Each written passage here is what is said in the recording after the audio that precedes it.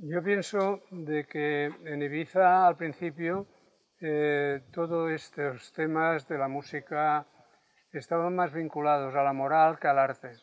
Es decir, eh, una discoteca, la música, eh, era un concepto que estaba muy mal visto por la situación política que se vivía en España.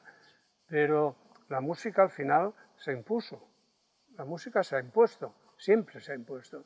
La música tiene un concepto, tiene un, tiene un misterio, tiene también el mensaje de unir conciencias, de unir conceptos, de unir el amor a la vida, por decirlo de alguna forma.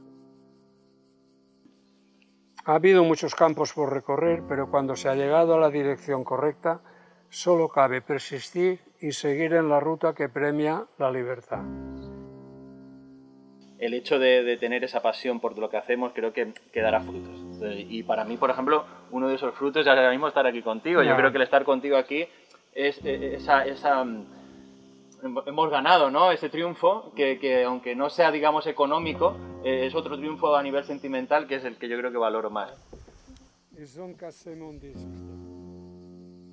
para Space la música ha sido y ejercido siempre como piedra angular sobre la que ha descansado cada momento la música siempre ha ido por delante de todo delante de la economía la hermandad el placer la música en Space ha sido el leitmotiv que nos ha empujado a vivir y gozar durante casi 30 años. Por esto, para Space, tras un periodo de reflexión y espera, participar en esta fiesta de la música, en este retorno con el auténtico espíritu de Ibiza, en un marco tan querido y singular como es el puerto de Ibiza, constituye una catarsis imprescindible, una forma de volver a sentirnos inmersos en el latido de la isla.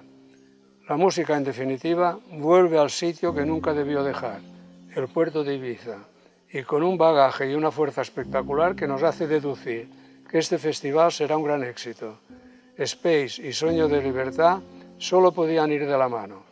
Somos parte de la misma esencia, esta Ibiza que está por encima de tendencias y caprichos, la que responde al espíritu hedonista de la isla. Ibiza es nuestra vida y nuestro futuro y nuestro presente, sobre todo.